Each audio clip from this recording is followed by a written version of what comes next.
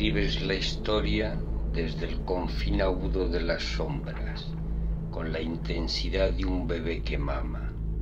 Escribes con signos y cuerdas, con raíces y algodón, con huecos, sombras, piedras y miradas. Haces presente el inconsciente colectivo acumulado desde hasta desde Altamira, descubriendo los huecos donde se desnudaron besos, luchas, olas y crepúsculos. Tu atardecer inspira, respira, late, reflexiona y acumula las cenizas de los tiempos.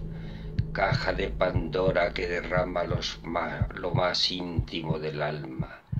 Reto que la vista convierte la borrosa narrativa en tierra y conciencia voces de alarma, tiernos brotes de malva y telas de araña.